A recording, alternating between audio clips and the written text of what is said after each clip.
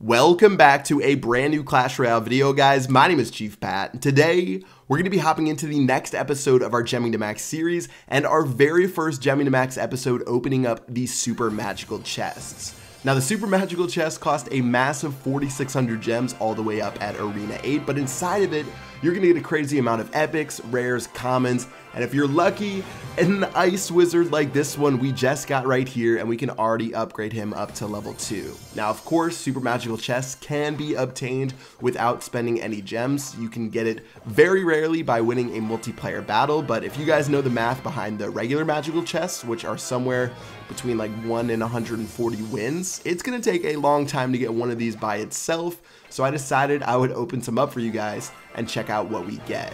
So a couple of poison spells, those are going to be the new epics that we have uh, within this new update. 19 free spells, as well as another legendary card with the princess, which is pretty crazy. I've heard that the drop rate for legendaries is somewhere between like 10 to 12 percent uh, for every super magical chest that you open. So I don't think it's really that common that we're going to be getting those legendaries, but at least we got two of them knocked out of the way right there. Opening up a couple more chests, you can see we're going to get some gold, a poison, 16 barbarian huts, 241 Teslas. It makes it a lot easier to gem. I definitely have to tell you guys that. And uh, another legendary card with the princess definitely getting pretty lucky with these draws today. Now, after a couple more cards pop out of this chest, this is going to be the final one that we open up today. Then we're going to do some upgrades inside of our deck and see what we want to get done. Okay, so all the chests have been open. Taking a look at our battle deck, really nothing we can get done. But when you scroll down, of course, there are plenty of new card upgrades to get done, including the legendary cards, which only cost 5,000 gold to get up to level 2. So let's go ahead and upgrade the Ice Wizard right there. Looks like we can upgrade the Poison Spell as well, and we should be able to upgrade that as well as the Dark Prince twice. So I'm going to upgrade both of those twice. It'll slowly creep me towards level 12, but honestly, I'm still pretty far away. I'm definitely going to have to get my commons and my rares up to max, which honestly shouldn't take too much longer.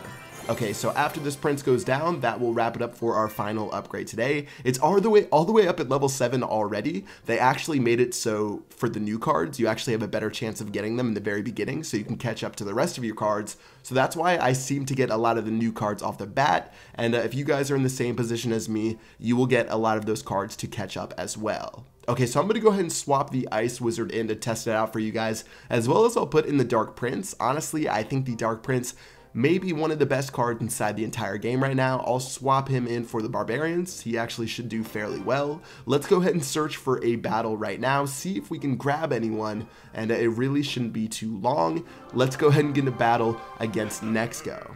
Okay, so it looks like Nexco is a level 10, and every time they do these trophy resets, it lets you battle some of these lower level players, because for me, I'm used to fighting really high level 11s or even maxed out level 12s, so a level 10 is definitely a little bit of fun, and let's go ahead and push on the left-hand side. Since he dropped that golem on the right, that means he only had two elixir left by the time he dropped it. Hog Rider's going to go down, followed up by the Spear Goblins. Bomb Tower should be able to play defense, and that Hog Rider Spear Goblin push actually ended up taking out that left-hand tower.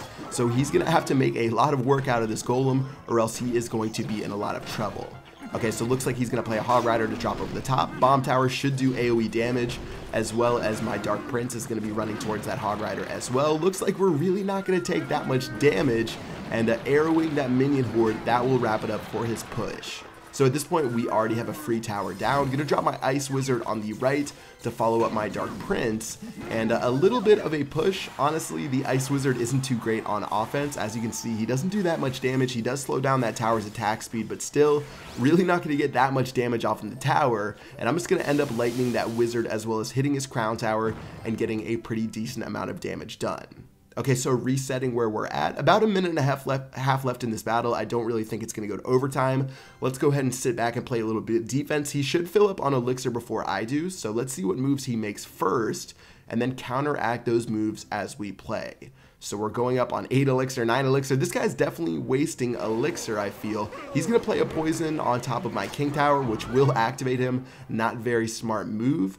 And now that we have a little bit of defense, definitely going to play an offense next starting off probably with our Baby Dragon. It's really good to play something slow at the very back. I was going to play the Baby Dragon before he dropped that Hog Rider, but since he dropped that Hog, plenty of time for me to gain a little bit more Elixir. Hog Rider's going to go down right now, followed up by a lot more of my troops, And seeing as he dropped that Golem, my Hog Rider's going to storm right by and should do a decent job of attacking that tower.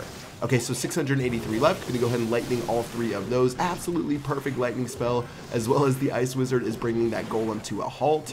Looks like he does have that minion swarm right there, so we're gonna wanna arrow all these goods right here. That should reset the battle, and this one is pretty much over with only 30 seconds left. Gonna go ahead and sneak a hog in the very center. Of course, that is the quickest way to reach the second crown tower by dropping it up there. That should do it for this one, and with 20 seconds left about, looks like this one is all but over. So, so far, I really think the Dark Prince is super strong. Ice Wizard is decent, uh, but I definitely do like the Princess better as far as Legendary goes. I'm definitely going to do more card spotlights, similar to how I did one for the Ice Wizard to show you guys what's best uh, with each and every card. Looks like we're going to be so close to getting that third star. Actually going to go over my Lightning Spell with the second left. Not going to be able to get it, but still very nicely done and definitely a dominating victory. So 17 trophies, not too shabby against a level 10. Of course, he was up against a brick wall, but we were able to pull it out. And uh, yeah, that is going to do it for this episode of Gemming to Max. I hope you guys enjoyed. Definitely going to be opening up some more of those super magical chests. Obviously, they take a little bit longer than those regular magical chests. Or actually, they don't take longer. The regular magical chests take longer since they only cost 800 gems. So to be bringing more of those to you guys soon. If you enjoyed the episode, make sure you drop a like. Until next time, I will see you guys later. Peace out.